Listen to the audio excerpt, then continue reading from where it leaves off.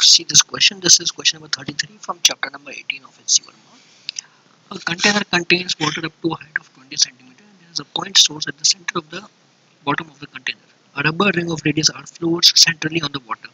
The ceiling of the room is 2 meter above the water surface. So here we have water container. Water height of water level is 20 centimeter. Okay. The ceiling of the room is 2 meter above the water surface. Okay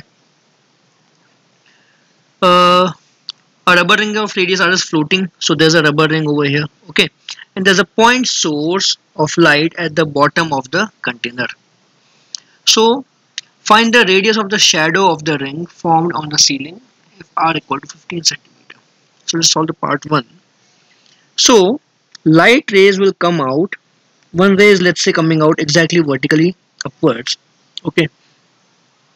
Let's draw this at the center then another ray will come out reach the edge of the ring.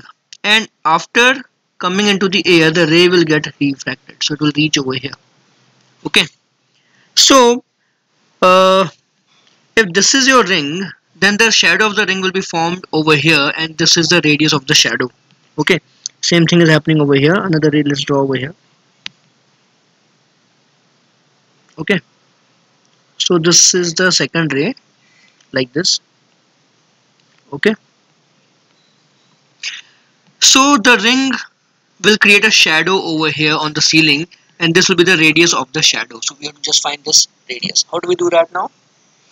So first of all let's look at the angle of incidence and angle of re, uh, re, uh, refraction. So I draw the normal over here. This is angle of incidence I. This is angle of refraction let's call it theta because R is already used. So first of all I need to calculate I. This angle will also be I okay? So what is tan of I equal to according to this triangle? Radius by height of the water surface. So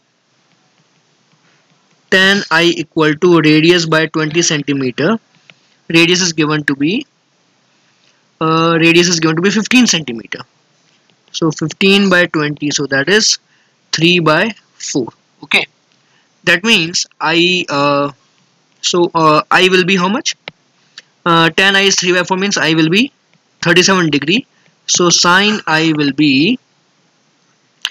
3 by 5 okay now we need to find theta angle. Okay, so for finding theta angle we apply the Snell's law. Correct. So n sine i equal to sine theta. Since we have water over here whose refractive index is 4 by 3. So n is 4 by 3, sine i is 3 by 5 equal to sine theta. So we got sine theta to be equal to 4 by 5, 3 cancels out. So theta will be 53 degrees okay we found theta now let's extend this perpendicular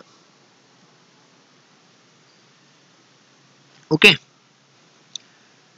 This is small r correct? These two lines are parallel so this is r this will also be r. Let's calculate this x. How do we calculate x? It's very easy. Tan theta will be x divided by this height 2 meter okay? So tan theta will be x by 2 meter or x will be 2 times tan theta tan 53 degree.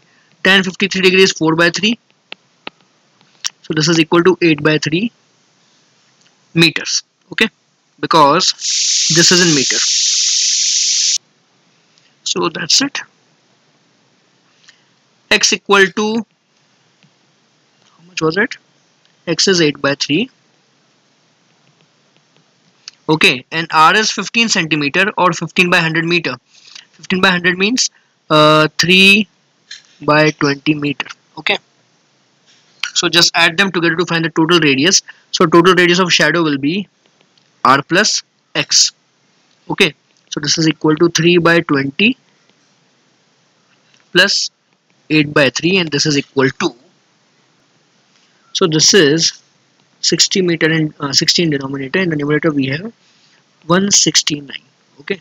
So in meters this is the radius of the shadow of the ring. Now the second part of the question is asking find the maximum value of r for which the shadow of the ring is formed on the ceiling. So see that is easy. Uh, the light should come out on the other side. If I increase the radius of the ring then the light coming over here could get reflected back inside because of total internal reflection. So the maximum radius of the ring should be such that the angle of incidence over here the angle of incidence of the light should be less than critical angle. That's it. So if I draw another ring over here okay if I draw another ring over here then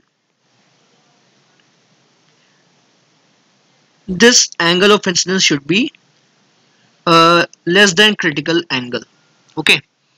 And then I just look at this triangle okay? So this is I means what? This will also be I. So tan I will be what? R by 20 centimeter again.